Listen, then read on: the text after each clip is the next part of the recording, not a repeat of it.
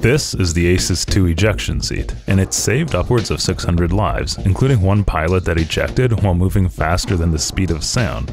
Its sequenced system begins with an explosive drogue gun that stabilizes the seat right before ejection. Following this, a rocket motor ignites, propelling the seat and the pilot safely away from the aircraft. What's more intriguing, however, is that the ejection force is modulated by an ingenious system that adjusts based on the pilot's size and weight. This ensures optimal force for each ejection, reducing the risk of injury.